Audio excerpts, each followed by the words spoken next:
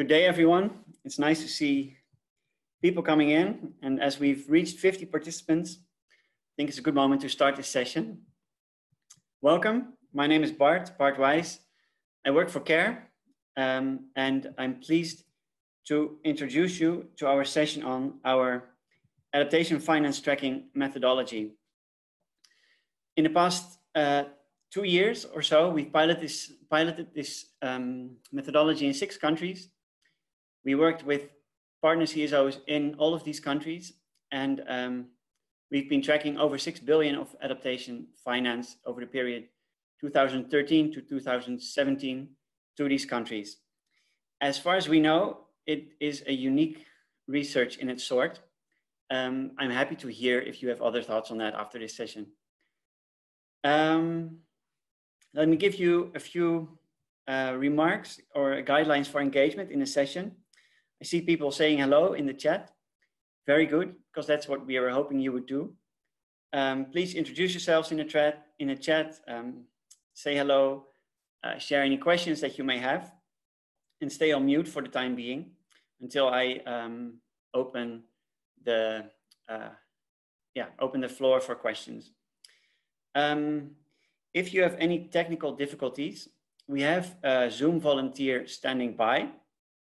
So uh, then please um, put a request in the chat to the, to the volunteer. I hope at least you'll be able to access the chat. Um, a quick overview of what you'll what to expect for this session. We will start with a short poll to get, get a bit of um, an idea of what your background is and also your expectations for the session. Then um, I will give you uh, an overall introduction to our methodology. We'll have some time for questions, and then we'll go into our cases for Uganda and the Philippines.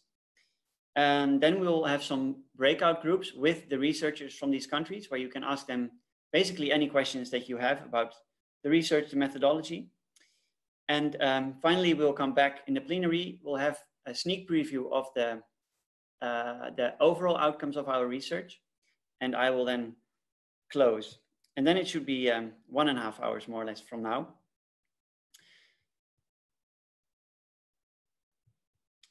I would like to ask our volunteer Chandler to um, share his screen with the Mentimeter poll. Let me stop sharing.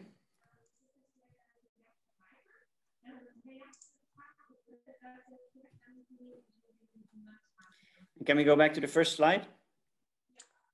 This is the second one I see. So you can see the instructions at the top. Please go to menti.com and then you can use the code 7057744 to log in and um, answer the questions that we share here.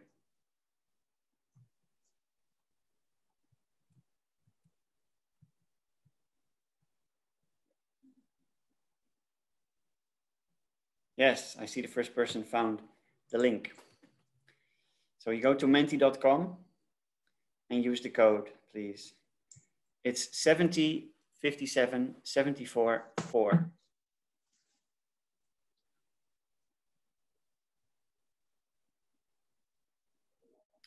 By the way, we are recording this session so that we can share, um, yeah, so that people can listen back afterwards just so you're aware.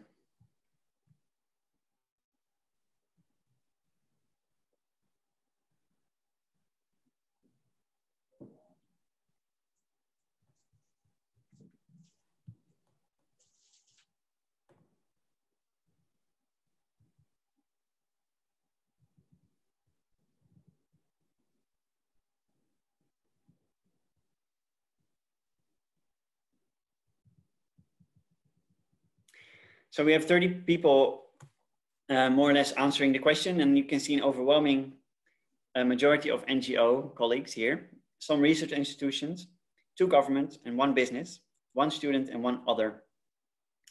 So uh, that's it's quite clear that we are among peers, which uh, I suppose is nice, but also happy to have some other people around so that you can offer some fresh um, and different perspectives. Can we go to the second question, Chandler? And have a look at the word cloud.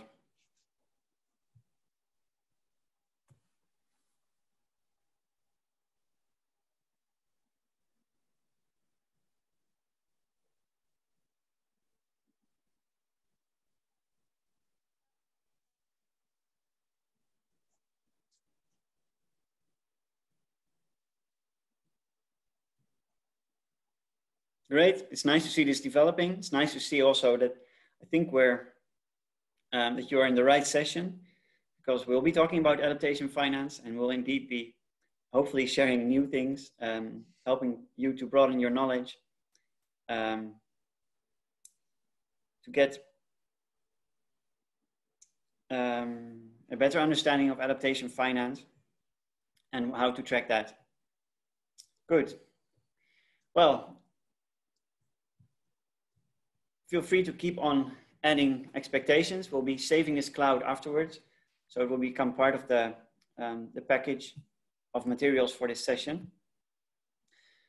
In the meanwhile, I'm going to start up my presentation and walk you through our methodology.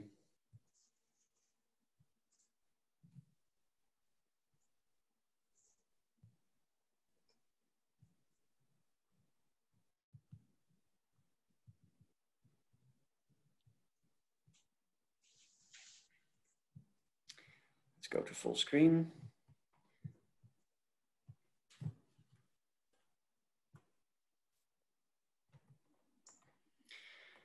So the basic purpose of our adaptation finance tracking research was to assess whether donors reporting of adaptation finance is reliable and accurate and whether the full amounts genuinely, genuinely target adaptation. In addition, we also investigated if the adaptation finance benefits the poorest and most climate vulnerable parts of the population. And we sought to develop a methodology that civil society could use widely. We initially piloted this in six countries, that you see in this um, overview. The, um, in Ghana, uh, Uganda, Ethiopia, Nepal, Philippines, and Vietnam. The scope of the research so far is that we've investigated 112 adaptation projects in these countries. We focused on international, international adaptation finance from bilateral donors and uh, multilateral, um, the multilateral donors, so the development banks.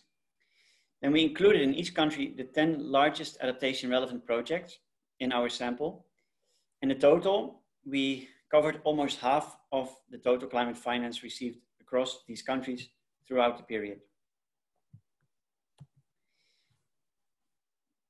Why, why is this study needed? Well, for one, I think most of you will probably be aware of the, um, of the Paris Agreement and the, and the agreement or the, um, the intention declared in the agreement to have an, a balanced uh, approach to climate finance, balanced over adaptation and mitigation. And by most people, this balance is interpreted as um, that the 100 billion or 100, yeah, 100 billion climate finance should be 50 uh, percent um, adaptation finance and 50% climate finance, uh, mitigation finance. So in order to track that, um, there's basically two methods that are used to, to report on adaptation finance. And both of these methods have their issues. One is the Rio marker, which is used by developed country donors in reporting to the OECD. And it's a very rough estimate because it's just a marker one uh, or zero, one or two. And based on that, the calculation is made of, how much of a project budget can be reported as adaptation finance. Most donors say that if Rio marker zero is 0%, obviously, um, Rio marker one is 40%, so it's a bit less than half. And Rio Marker 2 is 100% adaptation finance. If you look below on the slide, um, you, you, can see that if a for a Rio Marker, um, for a project to get a Rio Marker 2 on adaptation, the, the, the climate change adaptation objective should be explicitly integrated into the documents for the activity, but, and it should also be a fundamental reason for the design. So basically, um, the project should not be there if, if, no, if, if there will not be no need for climate change adaptation. Then for um, the Rio marker value one, the, object, the objective of the project should be related to adaptation, but it is not the primary reason for undertaking this activity. And then finally, of course, if there, there is a Rio marker zero, then it's not related to adaptation at all.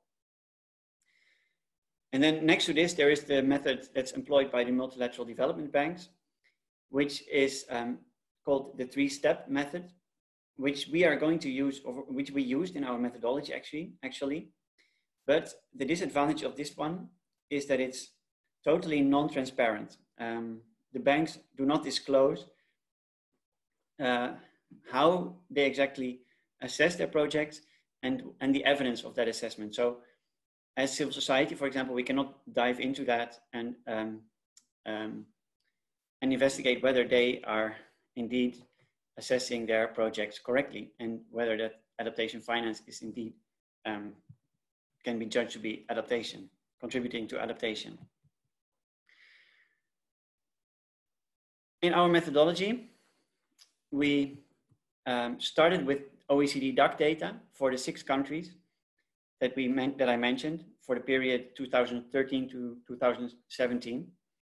This is data that's reported by the donors. So it is all based on project documentation and the Rio markers, and then the, the three-step approach for the MDBs. We used then our, um, our own uh, variation on the three-step assessment based on these development banks because um, in our view, the questions that this, these three steps ask are, um, yeah, are relevant questions to indeed assess whether uh, finance is contributing to adaptation. And because it's, it's, an, it's um, a method that's also being used by the donors themselves. In our research, we combined document and observational analysis, which is one of the, um, the contribute, yeah, one of the things that we, I think this research contributes to the evidence on adaptation finance. And we used a rating scale, as I um, show on the right-hand side in this slide, to come to a granular, granular calculation of the adaptation relevance of the project.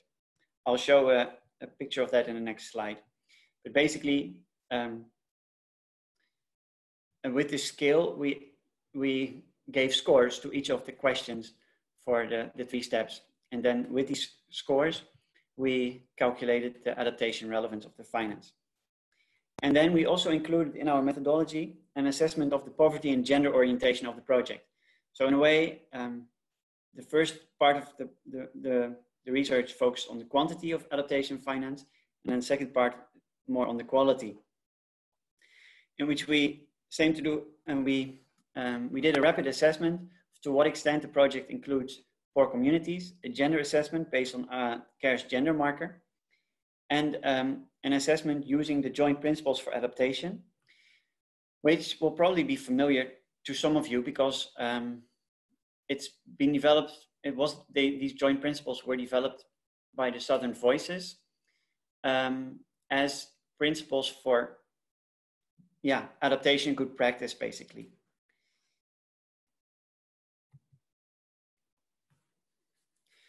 these are the three steps in assessment. Um, the, the first step or the first question basically, or yeah, the, the steps basically translate into three questions. One focuses on the climate vulnerability context um, and, and questions how well the project sets out the context of risks, vulnerabilities and impacts related to climate variability and climate change. Then the second focus on the statements of statement of purpose or intent in the project document or in the project. So is the intent of the project explicitly to address the identified risks, vulnerabilities and impacts related to climate variability and climate change? And then finally, is there a demonstrated direct link between the risks and vulnerabilities and impacts and the financed activities? And um, for each of these steps, we basically um, we our, our assessment format took the form of a table in which for each step we um, we assessed on one hand what what when looking at the project documentation what what score we would give. And on, on the other hand, we combine that with observations. Observations from sources um, from the areas where the, um, the projects were implemented um, or um, other relevant uh, additional sources that we could find.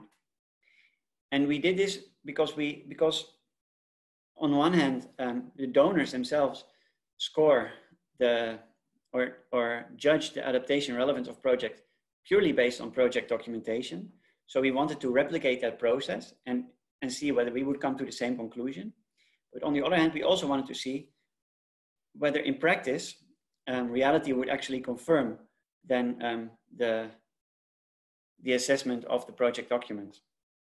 And what I'm showing here in this table is basically an example calculation where um, you could come, where, well, in this case, we come to the conclusion based on our assessment that, um, uh, let me see, for based on, so that there is a difference, you see a clear difference between project, our assessment based on project documents and project observations, where in actual observations, we come to a lower estimation of adaptation finance, but also um, that link to that, um, if you, uh, if, if our, according to our estimation, adaptation finance is only around 65% or 50, 56%, then it would not be correct to give a Rio marker one, or sorry, a Rio marker two.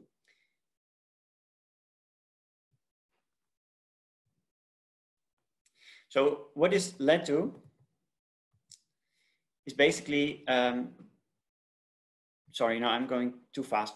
So the next slide, and I'm going to sh show this very briefly because I cannot share all of this with you, but so we also had um, these assessments for poverty, gender, and the joint principles for adaptation.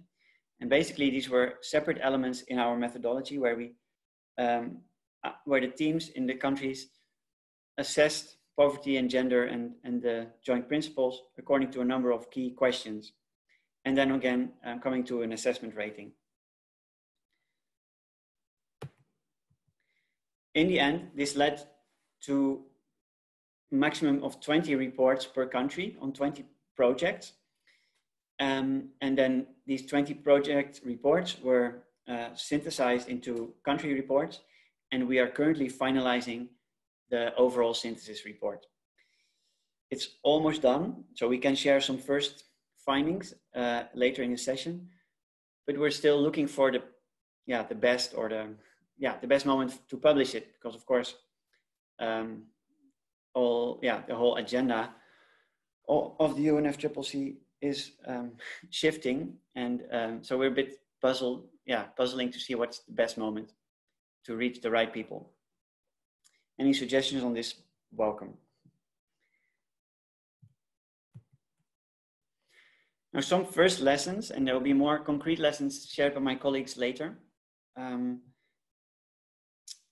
the first lesson is that the access to data, and that's obvious, of course, that is crucial. And it's not always easy for national civil society. So for example, for um, our colleagues in Uganda or Ethiopia to access these. In our study, this was facilitated by a consultant in Denmark. And what we saw is that the collaboration between NGOs and the expert consultants was crucial for the result. So I think um, in developing this methodology and taking the, with the ambition that it could be widely applied by civil society. We underestimated the importance and, um, of having this access to data and also having this expert insight in um, that's needed to calculate, for example, or to, yeah, to crunch the numbers. And it's, we also found um, that our methodology is still quite complex. I think that's probably also what you, what you, what you can conclude based on my presentation so far because it has a number of different elements and these elements need to be better integrated. And similarly, the rating scale where we had 10 different grades uh, should be simplified to five points actually, because it's difficult to distinguish between um, 10 different grades. And then finally, our conclusion is that the combination of document and observational analysis does have a great added value because we found that from our observational analysis, we come to different conclusions than uh, from the documents. However, to get that observational evidence was more costly than we expected. Um, because what we expected initially was that through uh, contacts, um, through networks, uh, CSO counterparts, we, we would be able to reach out to people by phone, for example, to investigate, to, to ask them about the, their knowledge on the, the implementation of a certain project in an area. And that turned out to be more complicated than we thought.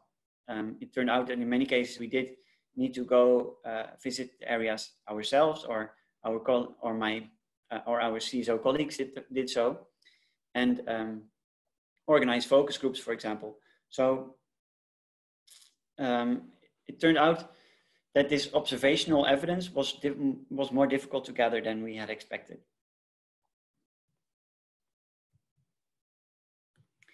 These are some of my, uh, the first lessons and, and, and um, uh, a brief description of our methodology. I imagine that you have questions based on this. Um, and we have some time for that. I would like to focus though on, on really on the clarifying questions and save any uh, discussion for later. Let me just see if there's any questions in the chat. And meanwhile, I'll stop sharing for a minute.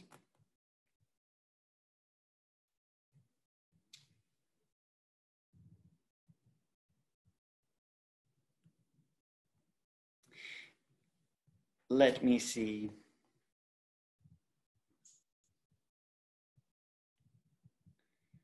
So I'm going through the chat now. I see one question on poverty orientation and the poverty cutoff points. Um, let me see. I must admit, I don't have the direct answer to that. Maybe one of my um, fellow researchers has uh, an answer because we followed, we used basically four simple questions to uh, look at to assess the poverty orientation. Uh, yes. Christine, please. Okay. Uh, thank you so much. Thank you so much, but for the presentation. In regard to the poverty, we used the four questions and we also used the existing uh, poverty maps. We used the World Bank uh, map for Uganda. Then we also used the household survey reports. So those formed the yardstick for determining which projects were actually responding to poverty and being guided by the four questions on whether the project did the poverty analysis, whether it is um, taking into issues of inclusion. So that is what we basically did. Thanks, Christine. We'd be happy to provide a more detailed answer afterwards if you can, um, if you want to have that. Then please just reach out. I'll share my email later on also in the chat. Let me see, I see another question. On what basis this research considers the finance as climate finance? Um, that's actually not so difficult because we basically used the OECD DAC uh, reported climate finance. So the basis in this case is um, what the donors themselves reported as climate finance to the countries. And then what we did, of course, is check whether we indeed agree that this is adaptation finance. Maybe also good to add here that we focus on adaptation finance because this is um, it's it's easier to measure uh, mitigation finance generally. And it's also, um, so there's, and it's easily, uh, no, it, it's easier to measure the impact of mitigation generally. So in what we've seen in the past is that there has been a tendency to focus more on mitigation, also because mitigation is, um, is easy, there's an easier return on investment. So we focused our study on adaptation finance because we, because we also saw the necessity to draw extra attention to adaptation finance and and because we had the um, we have the, the assumption or the the hypothesis that I, adaptation finance is actually being over-reported so that what we mean is that what I mean then is that, that um, a lot of the current reported adaptation finance doesn't really count as adaptation finance. Okay, let me have a look, a last look at questions.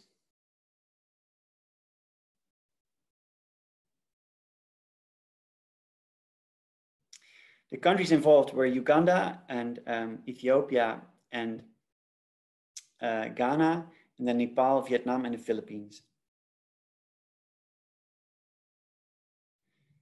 It's knowing how much adaptation finance.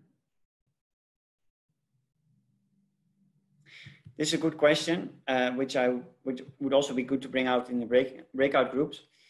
Is knowing how much adaptation finance is reaching communities really more important than knowing the adaptation or resilience impact of that finance? And we in part try to address this question by also integrating the poverty and gender components into our assessment.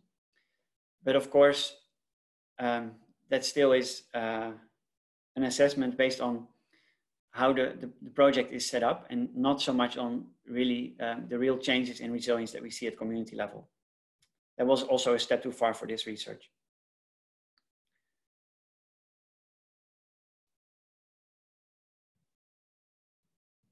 This was focusing on public funds. Ah, I see you already answered my question on, on the question on the countries. Okay, um, let me see.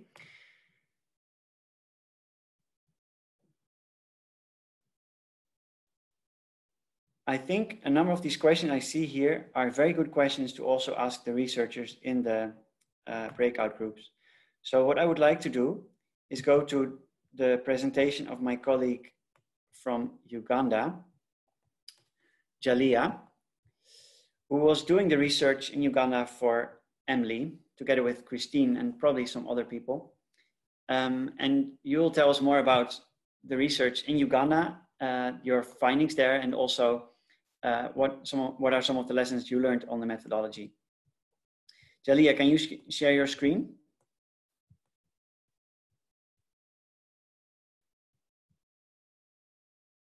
And unmute yourself.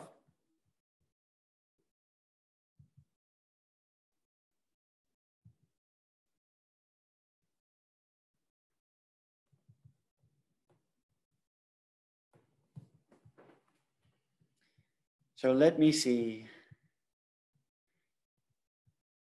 Jalia, can you hear me?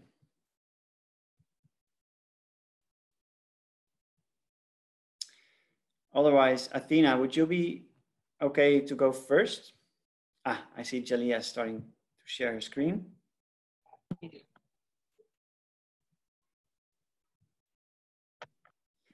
Okay, Jalia, can you um, yeah, hi everyone. Hi everyone. Hello. Hello, good afternoon from Kampala, Uganda. Hello, can you hear me? Yeah, we can hear you. Okay. Yes, we can hear you. Good afternoon. It is a good afternoon from Kampala, Uganda. My name good is Jalia Nambiru. I work with Emily. Emily is environmental management for livelihood improvement, Bwaise facility. We are based in Kampala. I work as the programs officer. I'm glad to be sharing with you the findings we got from our study let me let me start my video. Let me present as you see me. Yeah, this is a, a snapshot of um, of our findings. By way of overview, uh, for some of you who might not know, Uganda is a least developed country and categorized with low human development index. That is according to UNDP 2018. Uh, according to the ND gain matrix, Uganda is ranked as the 15th most vulnerable country with that ranking of 0.58. Uh, we note that Uganda submitted our National Adaptation Plan Roadmap to the UNFCCC in 2015.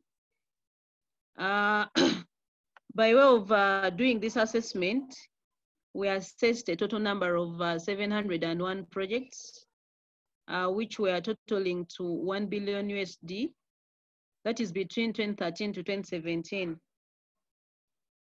Uh, for the projects that we assessed, uh, were 21 in number to a tune of uh, 495.1 million USD.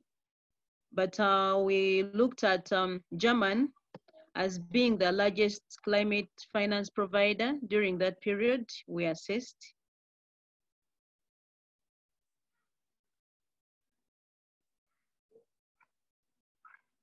Uh, in, in our findings, we observed that 55% of, um, of the 495.1 million USD of the total that was committed was adaptation related. That is what we found out.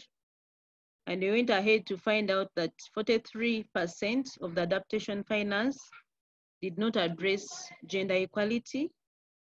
Still, we saw that 16% of the total received was remarked as principal for both mitigation and adaptation. As uh, Bart has already alluded to it, the donors themselves do report their commitments that is on climate change adaptation to the OECD Rio marker. So we focused on the database by the OECD. That is uh, the information, that is where we got the information. Uh, we also found out that uh, 55, 57.4 million USD of adaptation finance was found to be underreported. Here we note that uh, some donors do report and uh, the recipients of that money from the donors do report again on those projects.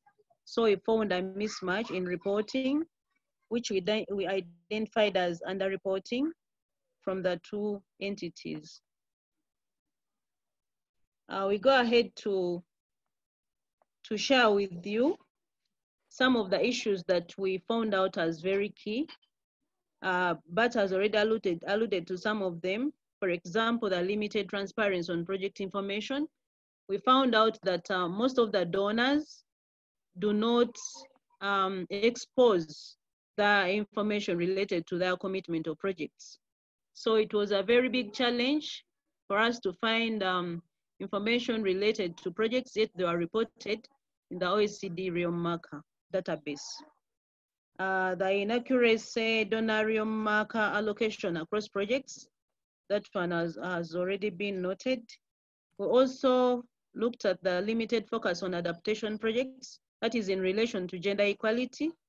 Gender was not um, a, a, a, very good focus in relation to project uh, development.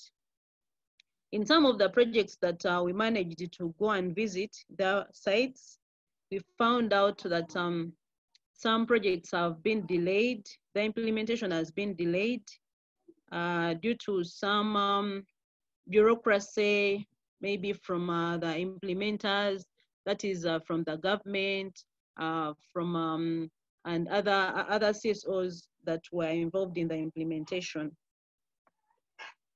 Uh, in line with the lessons and, and key outcomes, we note that capacity development on the tracking tools is very crucial. Of course, um, Bart has already mentioned that the tool seems to be complex. Yeah, we all agree to that. So we need some uh, continuous capacity development in line with those tools. Uh, we also note that transparency on project information is important.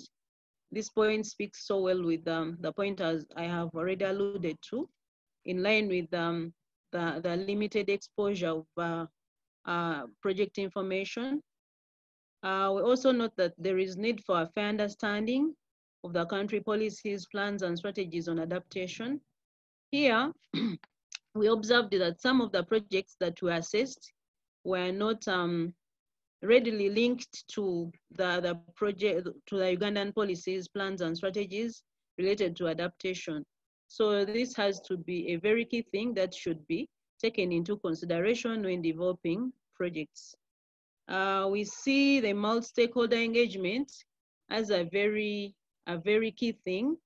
This takes into consideration um, the state and non-state actors, uh, because for some of the projects that we managed to go to, some did um, engage the communities, which was not the case for other projects. But still, we note that this is a very key thing which has to be taken into consideration. Uh, our next les lesson here is in line with the gender action plans, which should be integrated in project documents. Uh, we note that gender is very key. And of course, um, as CARE, we know very well that um, our themes are very well aligned with the gender action plans. So here we note that gender action plans should be integrated in project documents for it to be taken uh, very good care of. Uh, we found out that uh, some of the projects did not um, do gender analyses. Uh, we found out that um, in some of the projects that we visited, uh, some gender, gender groups were not considered. For example, we visited a project in, in Kabale, that is the Eureka project, and we found out that uh, women were assigned roles that were too heavy for them.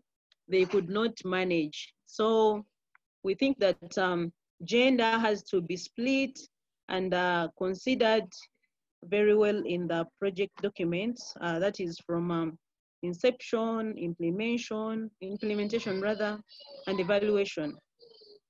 Yeah, in terms of outcomes, uh, we saw that we built state and non-state actors capacity in tracking adaptation financing.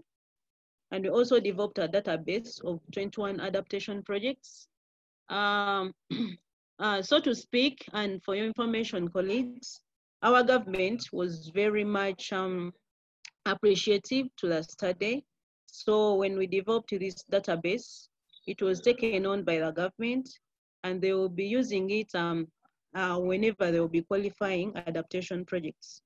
In terms of building uh, capacity, uh, if I can report to this congregation, as Emily, we've gone ahead to continue with the tracking of adaptation finance. Uh, this year, 2020, we are continuing with tracking adaptation and mitigation. Uh, from uh, last year's um, assessment, we, we got a number of questions as to why we are not involving or including mitigation. So this time round, we managed to widen our scope to include mitigation in our assessment, but this builds from the experiences we got from this assessment. I submit. Thank you so much. Thank you very much, Jalia, for sharing your um, uh, lessons and findings from the, the work in Uganda. And it's really good to hear that you are continuing the work uh, and updating the findings for the, the, years after 2017. And also that the government is also so engaged in this. Yeah. I don't want to lose much time, so let's go to the next presentation. Athena, are you ready? Uh, yeah, hang on. Jalia, can you stop sharing your screen? Thank you. Uh,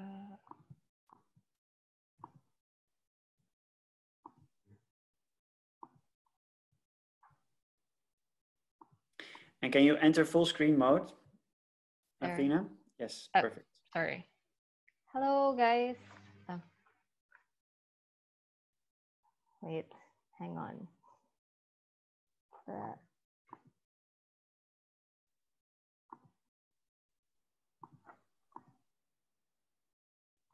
Ah, there. Hi. Yes. Hello. Can any everyone yes, can hear me? Hear you. All right. Um, so I'm Athena. I'm the researcher for for this adaptation finance tracking for the Philippines. I work with Assistance and Cooperation for Community Resilience and Development together with um, ICSC and CARE Philippines, of course, to undertake the research. Um, my partner from ICSC is also here. So later we can just, if you have more questions, we can answer them for you. So basically, um, of course, as you would probably know, um, from this typhoon and earthquake um, profile from the Philippines, that we are at, definitely at risk to hazards. Um, we rank fifth in the climate risk index um, as of 2019. And then we are definitely prone to extreme weather events and we have felt the slow onset effects of climate change specifically for like um, the second largest um, island in the Philippines, Mindanao. Uh, El Nino was really bad last year and it has led to a lot of food insecurity in the region. Um, we do not have, we have climate policies, but we currently do not have a national adaptation plan. It's supposed to be developed uh, this 2020.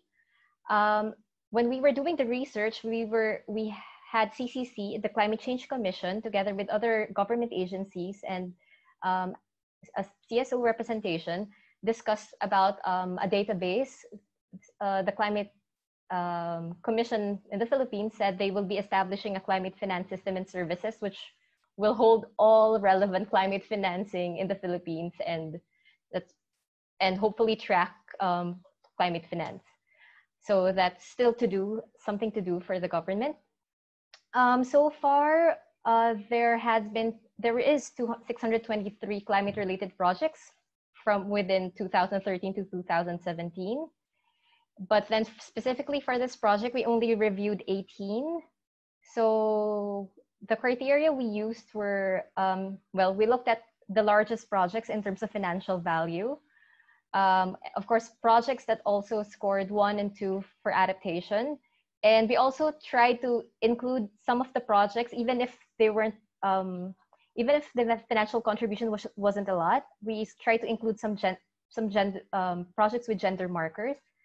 So yeah, the largest donor, at least for the Philippines so far, is Japan and the World Bank. So what we found out during the research is that um, a lot of climate finance in the Philippines still leans towards mitigation. Um, and apparently a lot of the climate finance is also um, primarily through loans. Only 7% are grants to, to the Philippines.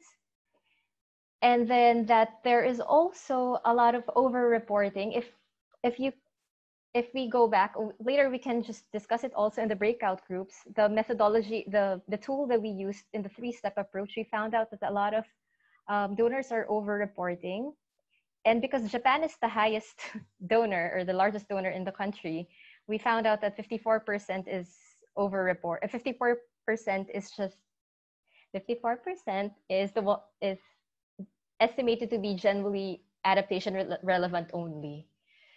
And then, of course, one, one key issue was that gender was not a key objective across all projects. Only six projects, at six out of the 18 projects scored in, in gender. So that was a key issue uh, across all projects. Um, the key lessons we found out in the use of methodol the methodology was that, again, similar to Uganda, we had very, it was very difficult for us to access project documents and to access the projects themselves. Um, we had to do different strategies across partners, across ICSC and Accord, in order for us to get just get you know um, documents from from agencies or or local governments. Um, it, it was evident also that whoever was thinking, I, whoever was um, doing the study or reviewing the project, there are inter-rater biases in how we scored. So I think similar to Uganda, we think that building the capacities of researchers are very, very important to ensure that there's um, to minimize inter-rater biases. And then um, again, similar to what uh, what do you call this? Um, Bart said earlier, the tools are very still very very complex, and it's it's a lot of work. So it requires a significant amount of time and resources to finish it.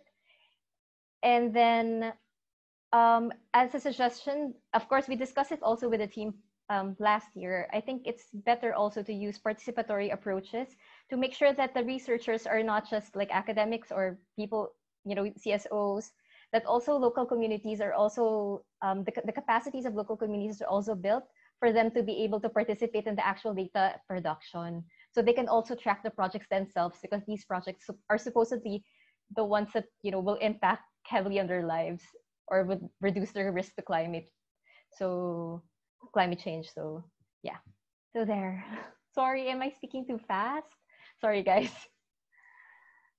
no, it's perfect, Athena. Thank you. it's good to hear your experience as well. And um, um, and I'm looking forward to going into depth on these projects further in the breakout sessions. I have set up a number of breakout rooms. Each will be led by one of the researchers involved. And I invite the participants to basically share all their burning questions and um, uh, with them then and uh, and discuss those. Um, let me show you quickly a Google document with the questions that I set up for this, where we aim to capture the outcomes of the breakout groups. You can see my screen now, and basically I've created a number of tables with the questions. I'm totally fine if you only discuss question one, the first question, and go into the burning questions, but please take notes in the group of the questions that you ask and also um, in the answers in bullets. It's not necessary to be very uh, comprehensive. The facilitators will be the ones, uh, will be our fellow researchers. And um, I'm going to ask you to, at the start of your um, breakout group, do a quick round and also see who is willing to take notes. I will share the link to the Google document in the chat right now. So you can all access this. And I just need to find my chat, of course. Where did it go? There.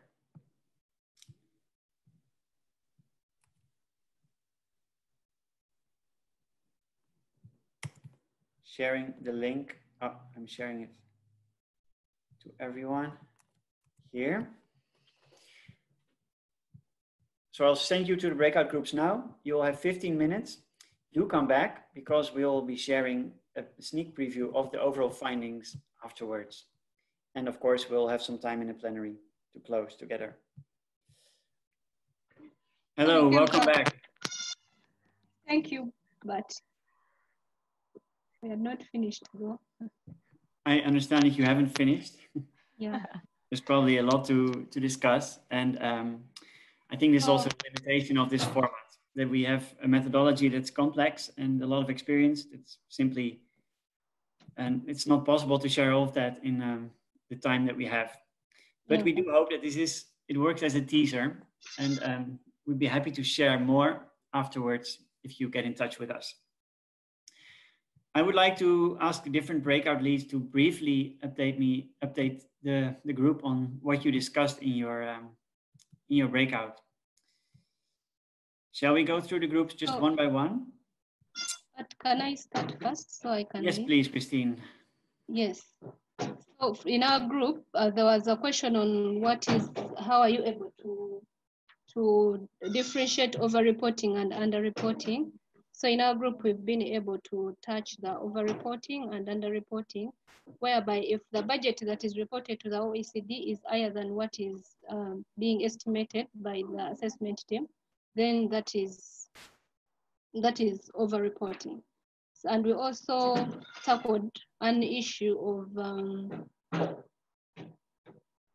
uh, we tackled an issue. There was a question on how this study is going to is relevant for future for future work. And we noted that uh, the study is relevant, tracking adaptation is relevant, because by then we shall be able to, try to hold governments and providers of climate finance accountable by looking at the impact of climate finance at the ground level and also be able to trace how much has been committed by the development by the developed parties. Then on the issue of the recommendation, uh, members suggested that the methodologies should be made easier to be worked with. And then for the lessons learned, uh, it was learned from members that gender aspects should be integrated in, pro in project designs from the word group to be able to track and to be able to, uh, to ensure that the projects are gender responsive and climate finance is considering gender aspects. Thank you so much. Thank you, Christine. Um, can we go to, to the group by, with Jalia? Yeah. Please just briefly in a minute. Okay. I mean, Yeah, thank you, Bart, and thank you, colleagues. Unfortunately, in our group, we just managed to cover question uh, one, uh, but um, the time was very limited. Uh, moving forward, we discussed about um, the issue on transparency in line with project inform information. And here we, we were wondering, or members were wondering, how we manage, how we can manage to trace money uh, that comes from an agency to an intermediary uh, up to communities and back maybe the reporting back to the donors. How do we uh, like put a distinction between all those um, entities or among the entities?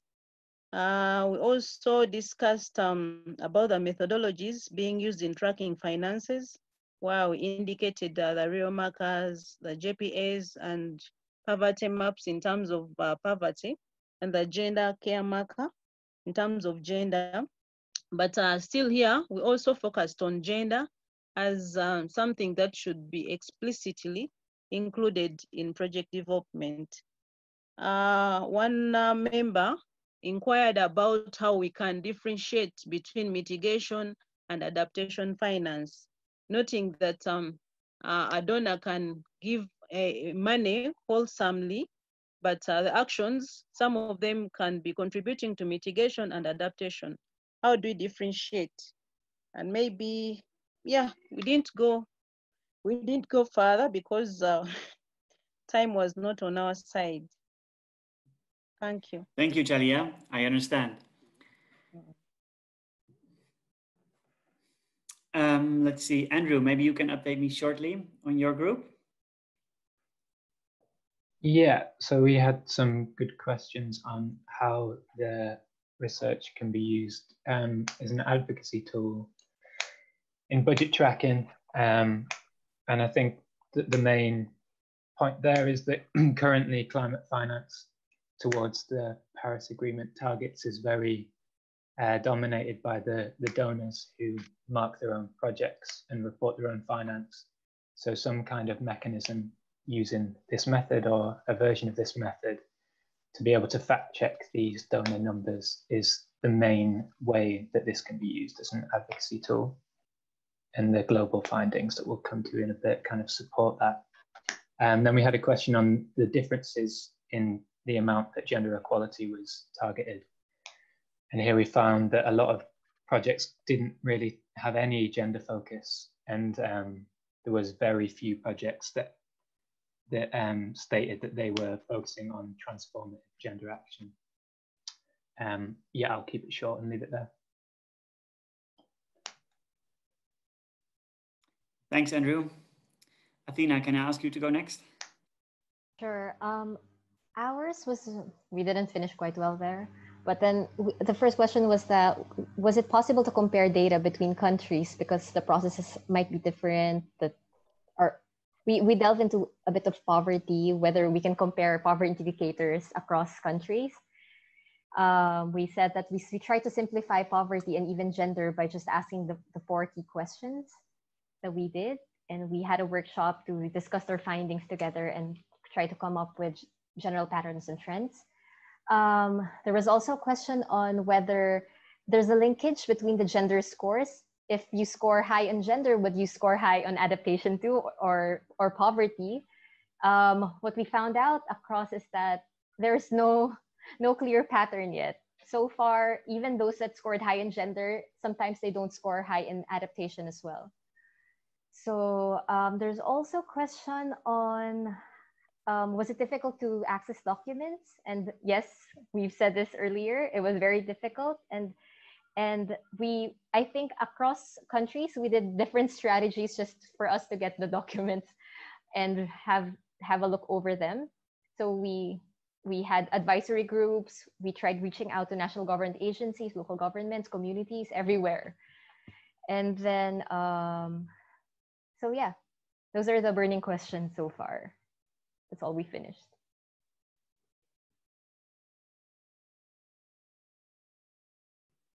Thank you, Athena. Kairos, you are last. Okay. Hi again. I, I finished mid-sentence when you called us back to the to the main plenary, uh, but where we, we we talked about some interesting issues in the group, uh, issues that are sort of uh, lying in the in the borders of the methodology of. Uh, we talked about you know looking into localities. I mean, we we sort of I mean, the research uh, looked into the international flows and how it's implemented in the local levels. Uh, Sakib from from ICAD asked, you know, did the research try to look into, you know, the difficulties and and what it actually takes for localities to access financing, uh, climate financing, and I think that's that's interesting, uh, but it's not explicit in in the methodology of the research. Uh, Shelton asked about uh, did the research come across any corruption issues, which I think is important, uh, especially in, in some of the, in a, in a lot of countries. Uh, we also talked about uh, whether there is an experience wherein a fund is not necessarily tagged as adaptation, but then we looked into it and decided that you know it's actually good. It's, it's actually an adaptation measure on on on the ground and we I just shared one of our experiences in the Philippine uh, research wherein you know a a fund uh, flow what is, isn't tagged as an adaptation measure, but it's actually used as an adaptation in, in, in the local implementation. So that's uh, I think that's that's uh, an interesting uh, question. Uh, and and last is you know similar to most of the groups is a are the main reasons for having difficulty in getting information? And I think that's been answered uh, several times, uh, especially on the on, on the grounds that you know it, it really varies from from country uh, from one country to another. So these are all important, uh, I think, supporting studies or lens on climate finance uh, that this research would also benefit from uh, in the future. Thank you. Yeah, yeah. Thanks. It's interesting that you point out that indeed in some cases you, we also found underreporting. So the, the, the, example that you mentioned of a study or a project that wasn't tagged as adaptation finance, but which you in practice found to be contributing to adaptation is an example of underreporting. Now, Andrew, I think we're coming to the point that we um, we all would like to have a sneak preview on what are some of the global findings from our uh, study let me put up your PowerPoint and then yeah. can you walk us through? Yeah, sure. It's just a slide. I'll go it's just a slide, right? Yeah, let me just.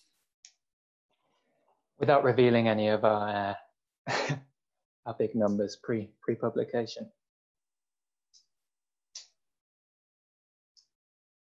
Okay, just a minute. I'm trying to.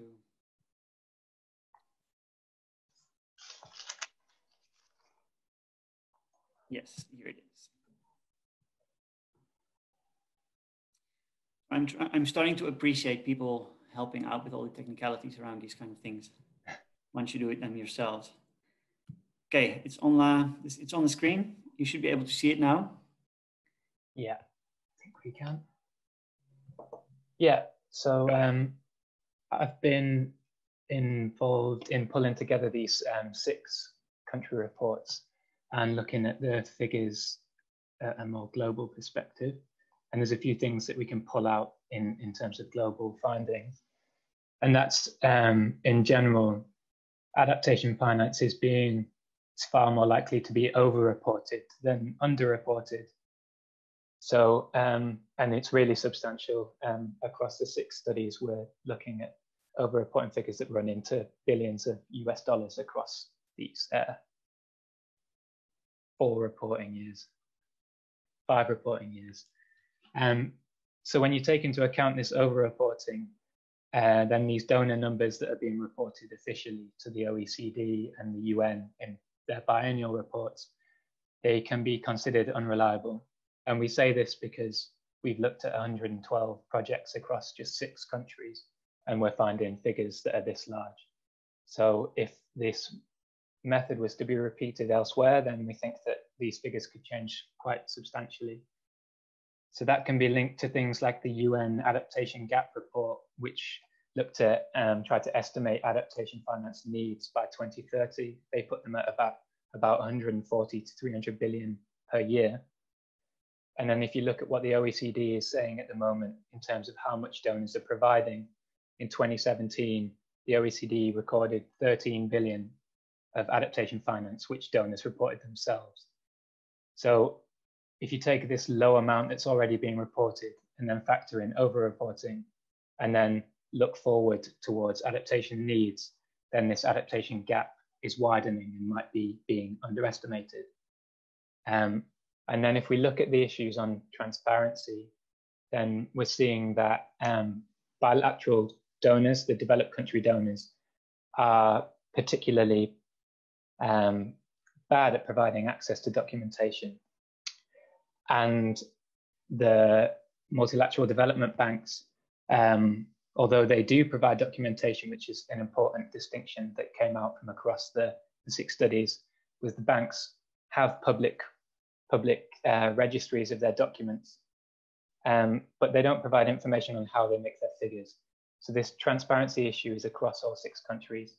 And then as we've just heard from the breakout sessions, gender is not being uh, integrated consistently, and that was a finding across all six studies. And um, from the rapid assessments on poverty, we're seeing um, patchy integration into these adaptation projects. So it's not, um, you know, the, the, the gender and the poverty analyses, they were more rapid and we were looking at how the donors are integrating it into their documentation and also some observations. But there is, there's, for those to be considered as integrated consistently into adaptation projects, there's a, a lot further to go. So all this is to say that um, this role for this, this civil society organisations to act as watchdogs on adaptation finance, eh, we think has been proven as, as necessary and um, should definitely uh, continue, should keep going. Yeah, I'll leave it there, but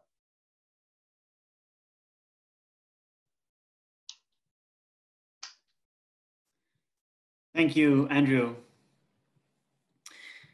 I must say, I'm really tempted to open the floor for questions still and final remarks, but looking at the time, we simply don't have time for that. I'm, I'm, uh, I was really happy to be able to share this, this methodology with you and the first findings of our research. We're excited to be able to share the findings in the foreseeable future. Um, again, uh, we need to still figure out what's the best moment. If you have any thoughts on that, please share with us um, or any intelligence on who to, to reach out to. One of the target groups for this research, uh, especially the overall report, we thought would, be the developing country negotiators uh, so that they have a very clear picture of the, the potential uh, over-reporting that's actually in adaptation finance. Um, again, as, as Andrew sh shared, we think that this report, though we, we, we, we, we on one hand um, encountered challenges in doing the research and doing uh, accessing information. Um, also, um, it's, it's really challenging to, to investigate these very large uh, infrastructure projects, for example, in the Philippines. Um, but it also for us really highlighted the role of civil society and the need for civil society to be somehow um, watching, uh, investigating these projects to indeed assess whether they are adaptation relevant, whether um, so the, whether re the reporting makes sense, and also whether they are addressing gender and poverty, um, because we see that there's gaps, and we see so we it really underscores the necessity of um, transparency and civil society involvement in assessing these projects. And I think there's a long way to go there. Um, and a lot of, uh, of our lobby and advocacy efforts will go into, into that as well.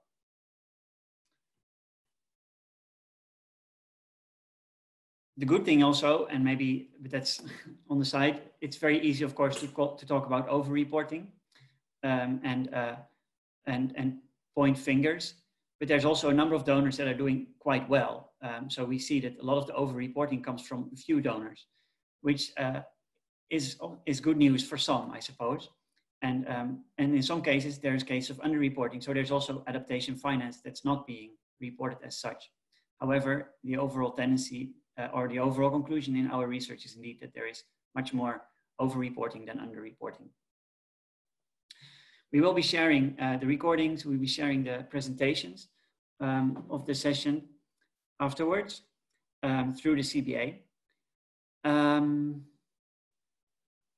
I think that's it from my side. Thanks again a lot. Maybe a final suggestion is that we turn on our cameras so that we can actually see each other and um, wave each other goodbye.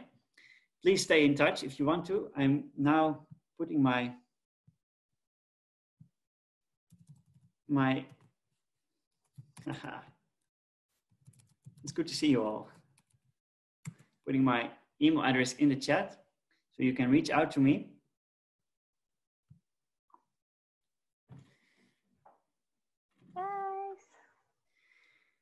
So goodbye. Enjoy CBA. I um, hope you'll learn a lot and uh, share a lot. And um, I hope we'll be in touch. Thanks all for joining. And thanks a lot for the team. Bye. Yeah. Bye. Thank you. Bye. Yeah. Thank you.